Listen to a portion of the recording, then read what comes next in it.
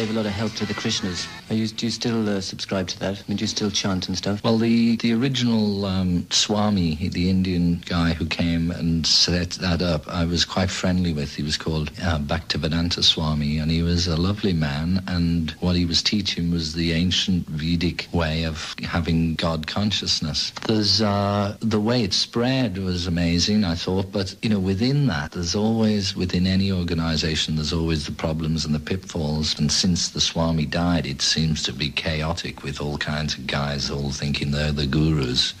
There seems to be, you know, not so much of being humble. I mean, to me, it's not important to be a guru. It's more important just to learn humility. But there seemed to be a big race on to see how many gurus they could have. So, do you ever chant now? Oh, yeah. Yeah, I still got my bag of beads, and the beads have got much better over the years. They're really groovy now, polished up.